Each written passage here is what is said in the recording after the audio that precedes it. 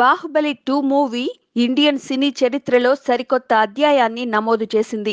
వెయ్యి కోట్ల మార్కును అందుకుని సరికొత్త హిస్టరీ క్రియేట్ చేసింది. అందరూ సెలబ్రిటీలు బాహుబలి టూని కీర్తిస్తూ స్పందించారు. ఇందులో హీరోగా నటించిన ప్రభాస్ నటన పాత్ర రెండూ అద్భుతంగా ఉన్నాయి.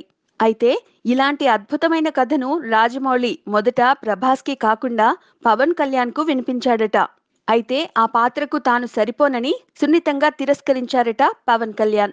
పవర్ స్టార్ క్రేజ్ను హైట్ను దృష్టిలో ఉంచుకుని రాజమౌళి ఈ పాత్రను పవన్ కళ్యాణ్కు సూచించారట.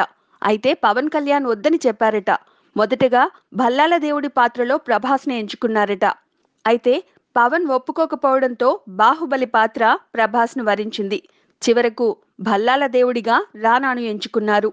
నిజానికి శివగామి పాత్ర కూడా శ్రీదేవిని వరించింది ప్రభాస్ తల్లి పాత్రలో నటించడానికి శ్రీదేవి సందేహించడంతో ఆ పాత్ర రమ్యకృష్ణ వద్దకు చేరింది ఇలా మొదట అనుకున్న వారు చేయకపోయినా కథలో దమ్ము దర్శక ప్రతిభతో బాహుబలి ఇండియన్ సూపర్ సినిమాగా నిలిచింది Please subscribe. Hi, it's me Purna. Please subscribe.